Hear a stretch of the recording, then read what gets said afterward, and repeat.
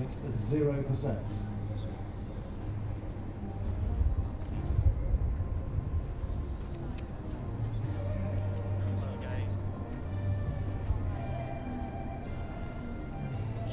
So as Natasha leaves the arena, she makes way for Lee Pearson's second ride.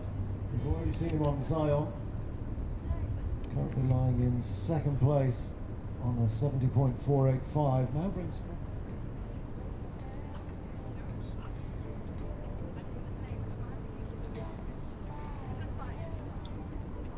So once again, great pleasure to welcome to the International Arena representing Great Britain, Lee Pearson and Styletta.